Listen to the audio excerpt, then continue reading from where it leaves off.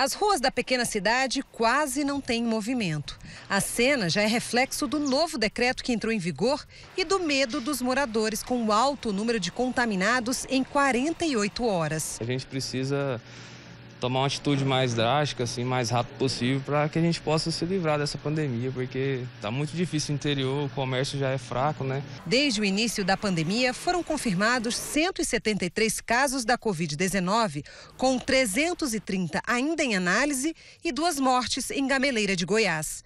Nos últimos dias, foram 15 casos confirmados em um único dia e 21 no outro.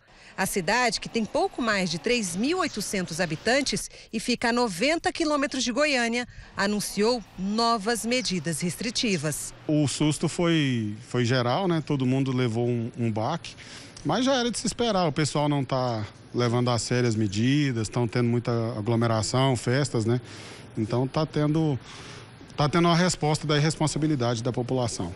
O novo decreto segue até o dia 10 de março. É uma tentativa de diminuir os casos da doença que cresceram nos últimos dias achamos por bem limitar o quantitativo nos bares, igrejas, estabelecimentos comerciais. Essa é a unidade básica de saúde daqui da cidade. Tem uma área que foi aberta para atender pessoas com sintomas de Covid. Aqui em Gameleira não tem leito de UTI, então os casos mais graves são encaminhados para hospitais em outras cidades pela regulação. E essa é a maior preocupação da saúde aqui no município. Hoje são 50 casos ativos. Se continuar desse jeito ou piorar, um lockdown não está descartado.